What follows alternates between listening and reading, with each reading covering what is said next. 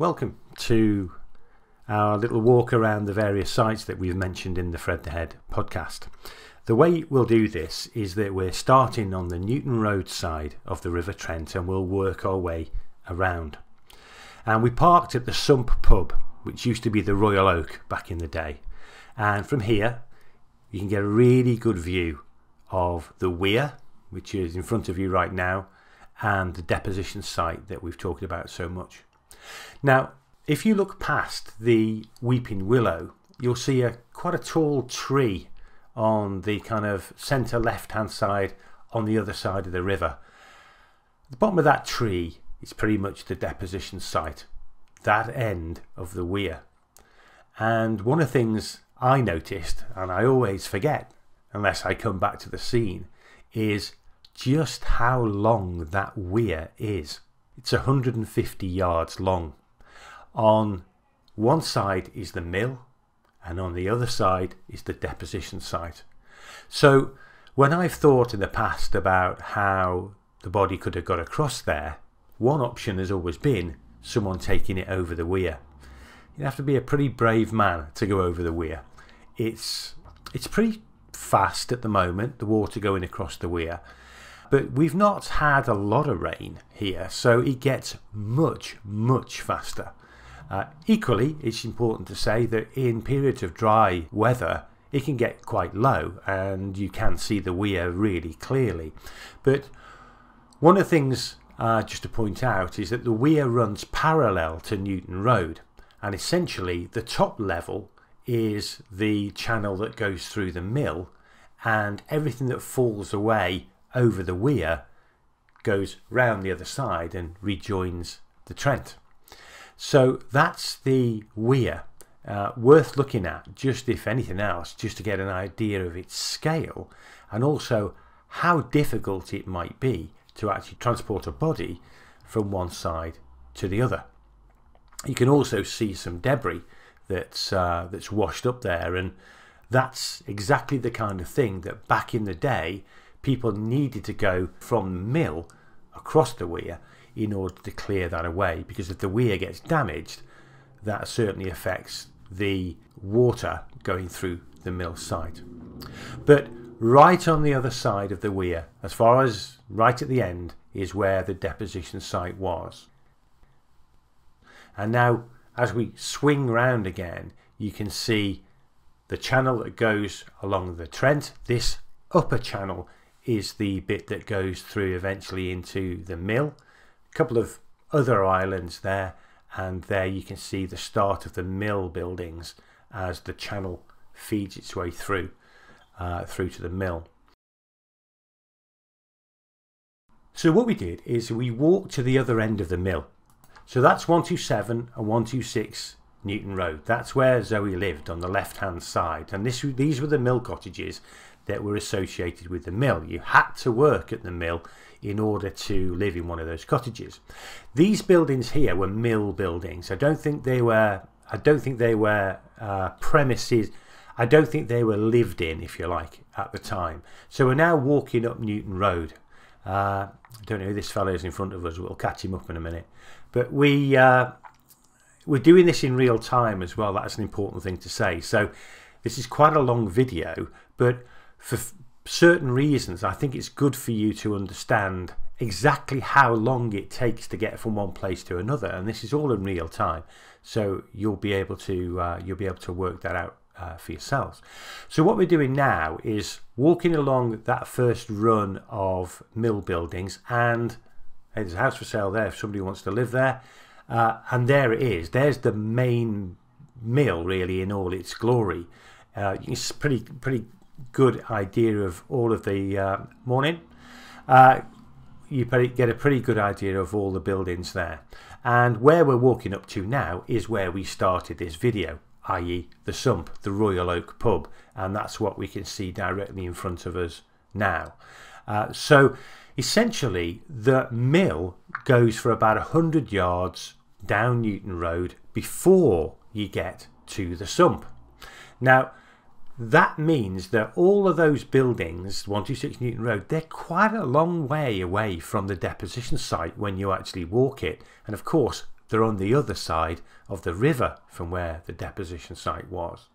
So we're back now at the sump. Uh, thoroughly recommend it, by the way. Uh, and this is where we filmed that first piece of film, if you like, uh, where we could see the weir. Now, what we've done now, jump back in the car. So you're now in the car with me. So I'm giving you a bit of a car ride now. Uh, look left, look right. Yeah, off we go. And uh, what I'm going to do is drive you from that side all the way over to Bass's Meadow. Now we're about to go past where David Nathan was working, where Gartham Gopsall lived. There on the right hand side there. Where that gap is, essentially, that was where the bridge was. Now, to respect people's privacy, we're certainly not going to be uh, filming people's specific houses and things like that. But uh, but that's where it was. So if you like, the the bridge went across from that gap, and on the other side of that bridge, that's pretty much where the body was found. So now we're driving a little bit further, uh, all the way up to Newton Road, and this will take us eventually. This is the the road that takes you from Winshill to, to Newton Solney, but now going towards Burton. Uh, It'd been a pretty rainy day that morning. Actually, I did this. I did this last Sunday, but it's uh, it dried up a bit in the afternoon. Uh, you'll be pleased to know. So we were able to do this. So you'll see we're. I suppose it will be about uh, half a mile, maybe a quarter of a mile. It'll take us all the way down now to the quite a dangerous uh, little junction here where we'll turn right uh, and we'll be going over the bridge then that takes us from Winshill side all the way over to Burton. And the reason we're doing that is that actually you have to do it in order to get back uh, onto Bass's Meadow. There's only you can't cross the traffic to get down that little uh, lane that takes you there, Meadow Road it's actually called. But it also gives me an opportunity to show you how uh, and Burton fit together, if you like, geographically. So I don't like that junction. I've done it so many times. I don't know where, why there aren't more crashes on it. But now we're on the bridge. It's one of two bridges, road bridges, that cross uh, the Trent from Burton. One takes you to uh, one takes you to uh, a twin village called Stapenhill. So this is the little road that we need to go down. We've just gone past it that takes you onto Bass's Meadow. But we're carrying on because you have to do a, it's a one-way system really, we have to follow all the way around. But on the right-hand side here, that's the Queen's Hotel. So it gives you a very good idea. It's called the Three Queens now, but it always used to be called the Queen's Hotel. That's how close it is to the to Meadow Road, which is the road that takes you on to Bass's Meadow. So we're now following that little one-way system around. By the way, I'm narrating this in, uh, safely in my office after I uh, after I finish the, the, little tour. I wouldn't like to be a, a tour guide. I don't think I could drive and talk at the same time. So here we are going left now, back over the bridge that we just came across. We've done that little loop and now in about 50 yards time we take a really tight left hand turn which takes you onto Bass's Meadow. So now you are about to come onto Bass's Meadow. You've heard so much about it. Here's this really tight turn.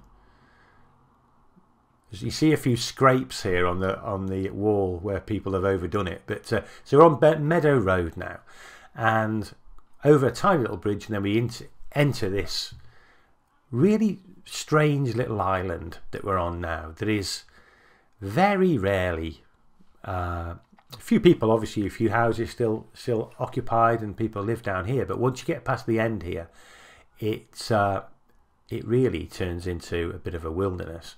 So, but we're carrying on down here, and we're turning right, and we'll follow the lane all the way down, and it goes quite a long way.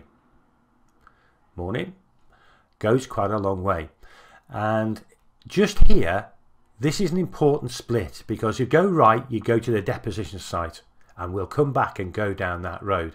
That's the way you get to the deposition site. This is the way most people go if you ever come on the island because this is the way that takes you to the sports grounds and to uh, Bass's sports facility that has been here for years and years and years. And in fact, you can, in fact, the most logical way of getting to places like the rifle range would be this way as well. And in the distance, eventually, we'll be able to show you where the rifle range is. But it's a good way.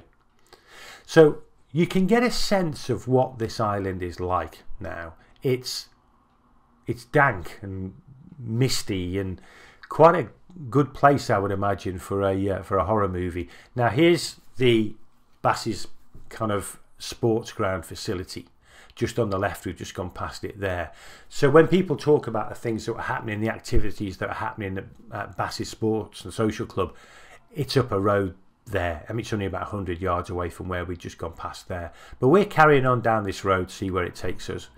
Uh, as you see the hedges start to enclose around you we won't see anybody else I don't think for we won't see anyone else I don't think now because once you've gone past that the tracks really only take you to one of a couple of farms that uh, occupy this part of the island. So that's pretty much as far as you can go uh, on that leg of the path. Remember the way uh, there was a fork to the right where people could go uh, and that's that's the route if you like to the deposition site. So that's one of the farms and in the background you can see the rifle range. So that's this massive rifle range that people have spoken about a few times. So we doubled back and went down the fork that took you to the deposition site. So we're walking this now. And it's going to take a bit of a while. So uh, I might not narrate all the way down. I, mean, I can talk for England, as you know, but we're going to just simply walk down this track. And one of the things you'll notice uh, is that it's track all the way. And the reason for that is there's a farm at the end of it, and there's access to a farm down the end of it. And I suspect this track would have been there back in 1970, 1969, when when Fred was buried. So they would have known that this track was there. So the body could easily have been moved by a motor vehicle. So the reason we're going slowly here is that we're walking now, we're not in a car. So this is the route, possibly, that Fred may have taken and the killer may have taken. I think certain things probably will have changed on this route over the years. A lot of the tree planting that's taken place, particularly on the left hand side, that's relatively new. I think there was a big effort to plant lots and lots of trees on this on this island uh, a couple of well a, couple of decades ago, and you'll see that the uh, all the trees are about the same age really. The, the that kind of height, about twenty or thirty feet, uh, suggests they've all been they've all been planted in very similar vintage really. But everything on the right hand side, that really won't have changed at all. Uh, what you do see is quite a few fishing pegs, so i.e. stations where fishermen uh, can fish. This is owned by I think the Coors Angling Club. I think we're coming to one now on the right hand side where fishermen obviously can uh, can step on that board and, and, and fish if you like into into the river. But you'll see there ain't anyone around. I've been to this site probably three or four times I've walked round here, never see anyone. And of course, there are probably 30% more people around than there ever were in 1970. So if we don't see many people now, we certainly didn't see many people back in 1969 or 1970. So we're now uh, probably about a third of our way down this track. If you are carrying a body this way, uh, a dead body, uh, a couple of things occur to me. One, it's a long, long way to carry a dead body, and I suspect uh, that isn't the way, that isn't what happened. Uh, you will also see, as we now take a look at the river and get a sense of, uh, well, the peacefulness of the area, really, is the first thing to say, uh, but also uh, just how wide the river is there, and so you get a good sense of uh, um, as we're coming back into Winshill now, you can see Winshill in the distance, and those houses are very close to uh, where David Nathan was working. So that's really what we're heading for.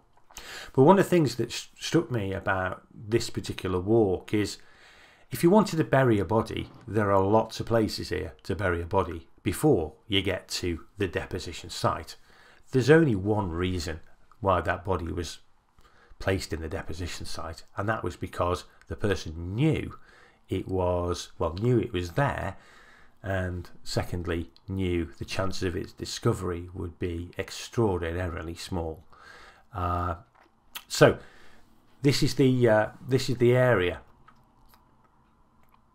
I'll let you enjoy the scenery rather than just talk nonsense for the next couple of minutes.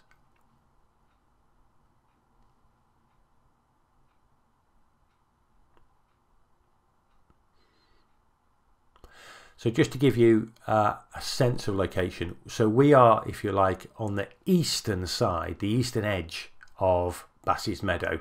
Bass's Meadow essentially runs north-south.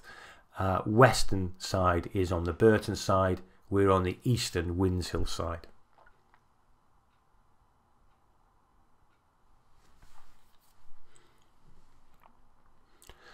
I think I mentioned on Facebook as well that access to the site is not allowed and in fact I asked permission for us to go on the site this time uh, and it wasn't granted and I respect that because you know this is somebody's land. Uh, they are free to decide who goes on that land and who doesn't go on that land, and there's no issue with that whatsoever.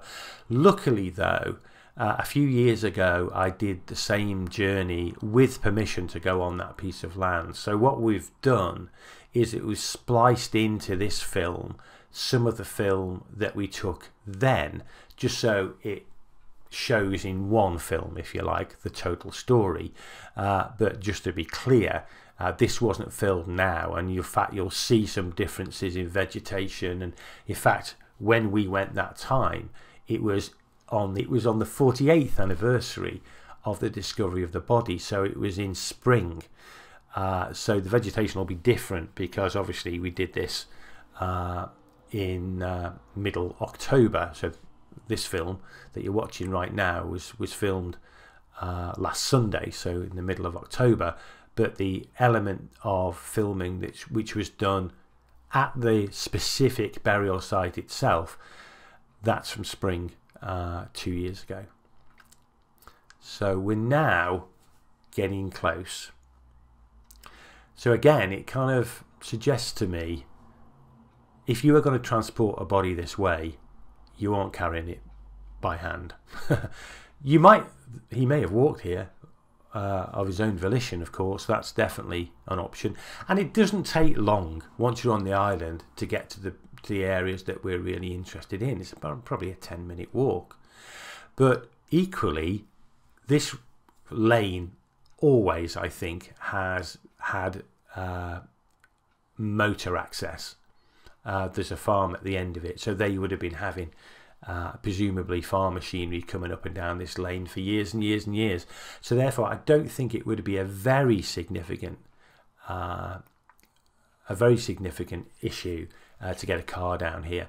And if Fred's body was tied up and put in the boot of the car, I'm starting to think that's as good a good a way as any of, uh, of him uh, getting to this neck of the woods.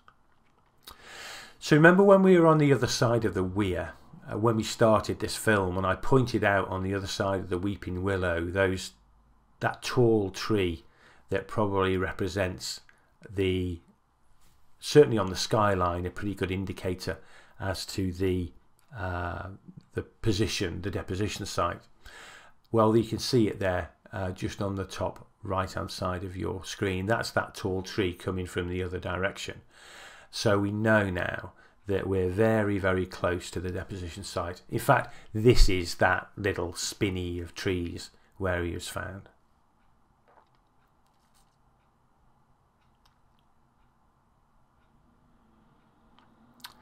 So I think when I was there, it's been a few years, of course, since I was there, since I was here before, and it looks different.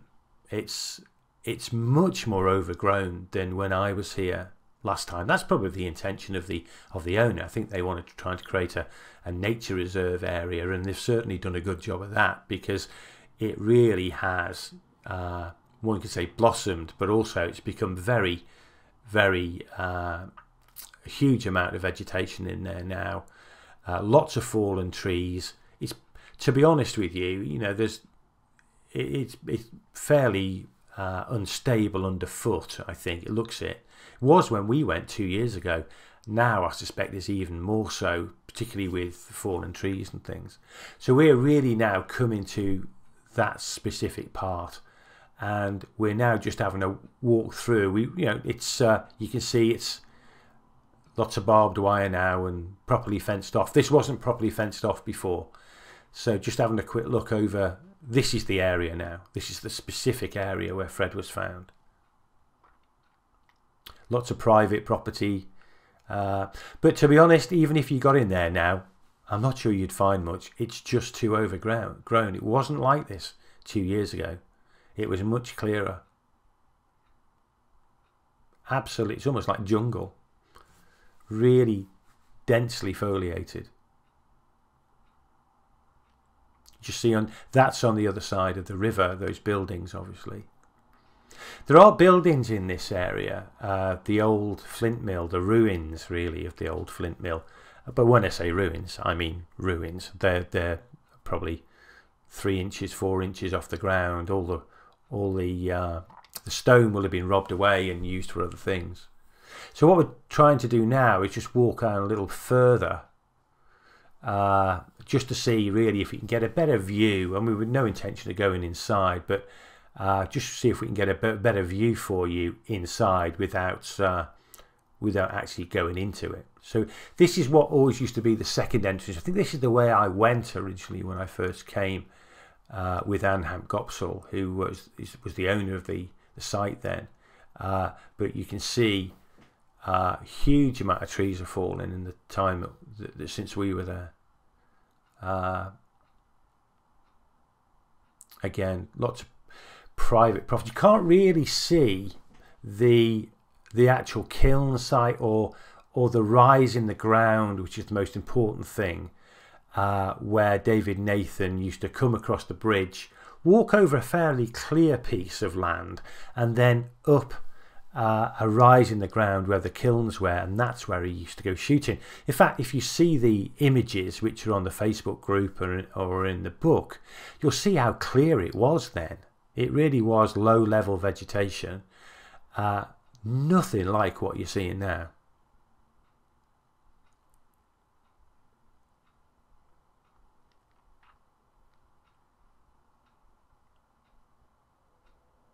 You see it's all properly fenced off now.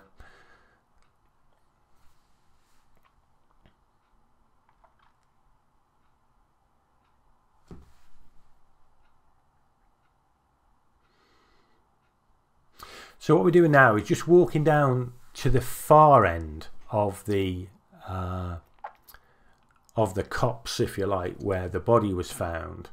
Uh, we're walking past it. The reason we're doing that is that I want to give you uh, a sense of where the weir is in comparison to this particular copse. If you're like trying to look back from where we started this film, trying to look back so you can get a good sense of uh, doing a full 360 degrees, if you like, around the deposition site.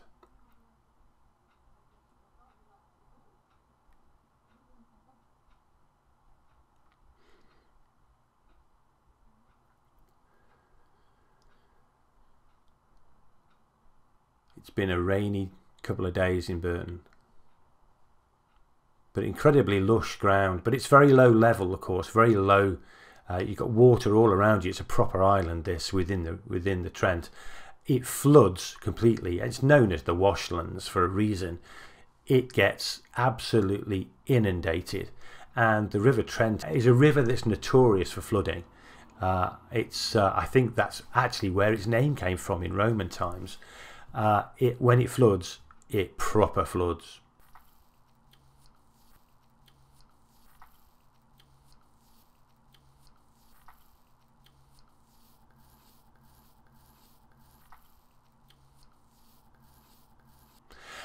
So I think this is kind of the only access into there now, and it's obviously sensibly uh, locked and padlocked now.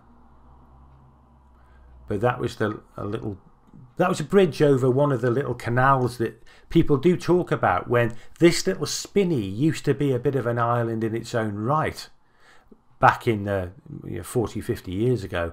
And there's narrow streams running through it and that was one of the bridges across it. But that's pretty much all we get to see really in terms of uh,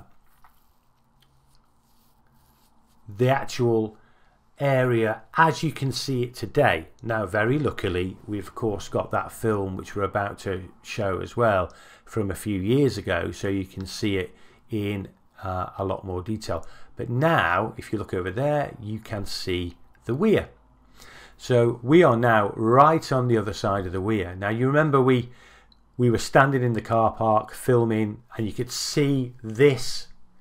Uh, tributary of, of the river coming away and the one that went to the mill was going past us. Now we're seeing it from the other side. And you can see how fast the weir is and it has not been particularly wet. So when this is really in full flood, it's something to behold. So we're back now at the deposition site. One of the things I just wanted to show you is the kind of landscape similar to how, how it was. Those trees probably not there 50 years ago. Or if they were, they were very small specimens. But you do get a sense, and by the way, there is the uh, is the rifle range again. So you get a sense of the proximity of it to the rifle range. But it's it's a pretty desolate place. A uh, lot of bird noise. We're not really. There's the mill, of course, from the other side of the river. But lots of wildlife and lots of bird noise, but we've not recorded that necessarily simply because it gives me a chance to do an uninterrupted uh, narration over the top of it. But again, there's the weir, there's the sump on the other side. So the way this runs if, is if you've got the mill to the left of us as we're looking now, then you've got the sump pub, you've got the weir, and a bit further to the right, that's where David Nathan uh, uh, was working with Garth Hampcopsall and that's where the bridge was. Now, this is the film from a couple of years ago. So you get a much better sense now. This is where he was found. So you'll see it's much lower, the vegetation, than what we've seen uh, in uh, the earlier part of the film. This is the kiln. They are the two kilns. This is exactly where he was found. So probably this is probably much lower in terms of uh, in terms of vegetation, simply because it's been through a winter. Of course, ours has just been the film we've just made has been through a summer, so that's why there's so much vegetation. Uh, but this is filmed two years ago in early March, so you get a much it's a much clearer picture. They're the two kilns. That's where the body was. That's the rise in the ground where the kilns were. Again, looking back over to the weir there. So you can see the weir really does, uh, it is very close to the deposition site.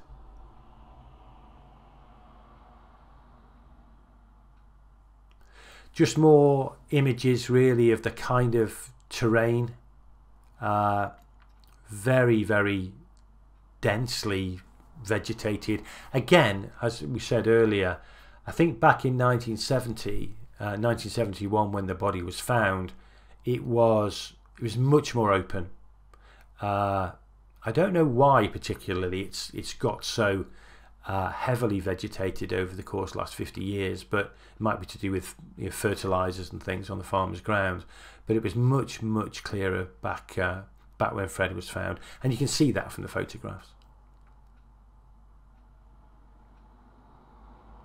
So what you've got in this area is that you've got a series of kind of brick, uh, well, they are the kilns, in fact, but you've got a series of, of kind of uh, industrial uh, structures in brick, which have just slowly decayed and decayed away. You can see some more of them there. But an excellent place to dispose of a body, and an excellent place to dispose of one that the intention was it would never ever be found again.